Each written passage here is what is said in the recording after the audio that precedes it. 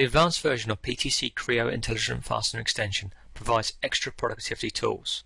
In some cases you cannot pattern a screw connection because multiple parts need to be drilled.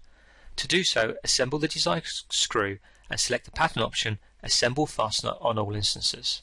The holes are created in the required parts. If you create a screw connection where one side of the placement surface is not parallel to the other, you may want to align the connection. You can do this by defining an orientation in the Select References dialog box. In this case you can also define the square taper washer to even out the angle of offset. Click Assemble Fastener on all instances because the washer needs to be rotated for the right I-beam. Assembling dowel pins is the same as assembling screw connections. Select the location and the parting surface for the dowel pin.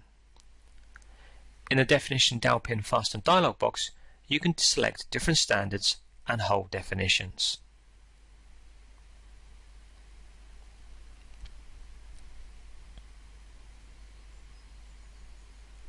You can check existing screw connections from the Check Screw Fasteners dialog box. For example, you can change the thickness of the cover and then click Tools, Intelligent Fastener, Check Screw Fastener to open the dialog box.